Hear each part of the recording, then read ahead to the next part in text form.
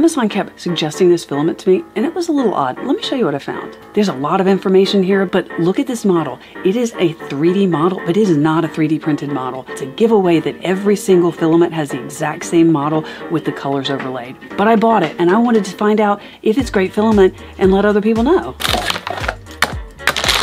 It's $44 for a kilo and a half, and it's a transition. And I'm guessing that this is one transition and this is three spots in there, but I don't know because it's solid on both sides and it doesn't say on the site. And I'm gonna unspool it so we can figure it out.